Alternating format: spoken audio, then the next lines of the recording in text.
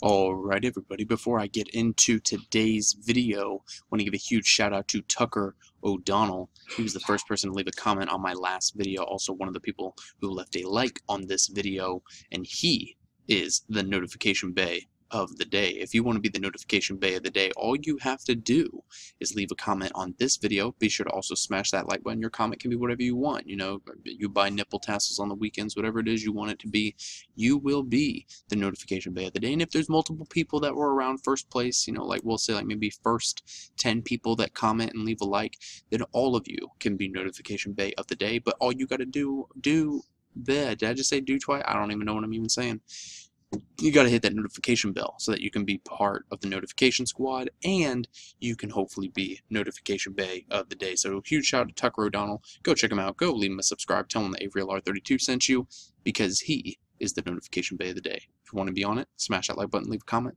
Be sure to hit that notification bell. But without any further ado, let's get into the video.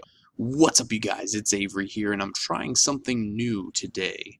Um, for a series that I want to do on my channel. Instead of doing a market watch like everybody else and their mother does, I want to do something a little bit different. I want to take a different angle at it, and I want to see what you guys think.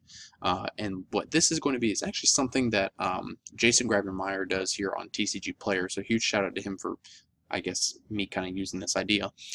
It's a set review and it's going to be a giant set review because we're going to review uh, a, a, set as a whole. What this is going to be called is the giant set review. What this series is, is that I'm going to be taking a set and I'm going to be reviewing it, whether it's Code of the Duelist or whether it's Dimensional Guardians, and I'm basically going to be rating it and I'm going to be talking about the cards in it, what you can be able to expect to get, and things of that nature. So without any further ado, let's go ahead and get into it. Again, if you want to see this series more, be sure to smash that like button and leave a comment. Let me know that you're enjoying it, and we will keep it up. But I got to see those likes on that like button. So let's jump right into it. So starting off, we got Spiral Flame Strike. Um, the whole point of doing this giant set review is to talk about what you can expect out of a set, what you can expect investment wise, whether it's a good investment, bad investment.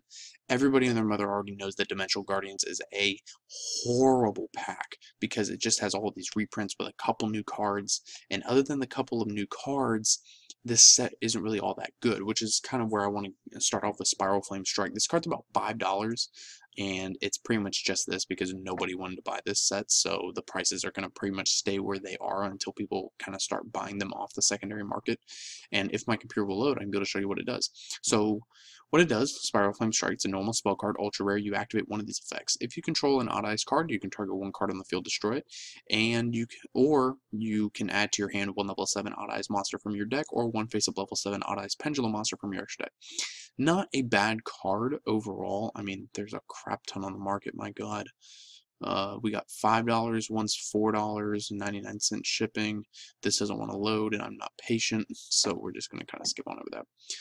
I mean, it's an interesting card. It's cute. It's, you know, I guess good for the Odd Eyes decks that you'll be able to play for a whole month, even though people are mostly just going to be playing Pendulum Magicians. Pendulum Fusion, another $5 card. It's good for the pendulums that are coming out. Um, but again, you're only going to be able to play the deck for a month. It's a super rare normal spell card. You can fusion summon one fusion monster from your extra deck using monsters you control as fusion materials. If you have two cards in your pendulum zones, you can also use cards in your pendulum zones as fusion materials, and you can only activate one pendulum fusion per turn. It's a $5 card. What can I say? It's cute, I suppose. Um, again, though, the only problem is, is that since you're more than likely only going to be able to play the deck and I'm talking about pendulums in this case, for a month, it's not really worth it to invest in cards like Pendulum Fusion or even Spiral Flame Strike or anything for that matter. And the reason why I say that you'll only be able to play the deck for a month is because of the fact that with us getting this emergency ban list taking effect June 12th, and with Code of the Duelist and the whole link summoning mechanic basically coming out in August, that's when the game is going to drastically change because number one, we're going to get a new list, and number two, the pendulum scales are going to move to the spell and trap zone, so it's really going to hurt the pendulum mechanic. So you can do all these crazy combos that you want right now with pendulums because you have the scales, but then once you take away the scales, put them in the spell trap zone, you're not going to be doing as much along with the rules that you have to have them in the extra monster zone and all that crazy stuff. Um, Frightfur Reborn, a $4 card. If we would have gotten Frightfur Patchwork, this set would be so much better, but instead they give us Frightfur Reborn. I'm not really going to talk about Frightfurs and Fluffals and all that because I don't really know all that much about the deck. I just know that Patchwork is a busted card. Um, we got more Speedroid support. Speedroid support is always good. Um, but you know, with Terrortop being hit, it's just kind of like you know, no one really cares, and that that's kind of the whole thing with this set is that you have kind of these nice reprints and all that, but it's just things that people don't really care about. I mean, Ritual Sanctuary, sure, sure, sure. Uh, why not? It's a one to two dollar card.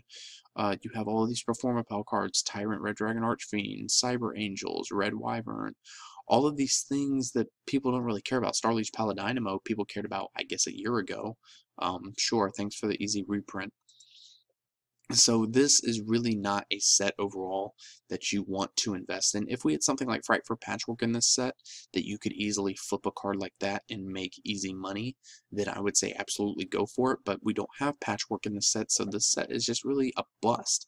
So if I had to give a rating on this uh, set before I close out here, I would give it a honestly a 5 out of 10 and the only reason why it's that high is because we're getting a lot of reprinted cards that are make it even easier to get than they were in their normal sets for the casual players.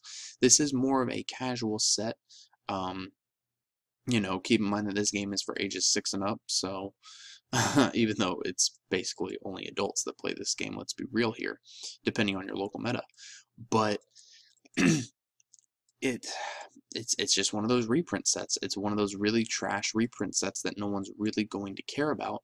And so because of that, I can only really give this set a 5 out of 10. Now when Code of the Duels rolls around, we will definitely be able to be more in-depth with this um, type of review. We'll be able to kind of pick out more cards and talk about them more in-depth. Um, but with Dimensional Guardians, it's pretty much just very cut and dry with what this set is. You have a couple cute cards like Spiral Flame Strike and Pendulum Fusion of Frightfur Reborn, and that's about it. There's really nothing else in this set that you would really want to look for, and it'd be pointless to buy a box because you can't really flip this set for money. Um, if you're into that sort of thing, if you want to buy a box, sure, go ahead, go for it, but keep in mind that you're basically investing 30 to $40 and you're not going to get your money back. So if you guys enjoyed this video, let me know with a like. If you guys want to see the series continue, please let me know in the comments below. Be sure to hit that notification bell so you can be part of the Ding Dong Notification Squad where you could potentially be the notification bay of the day. Thank you guys for watching as always and subscribe if you've not already.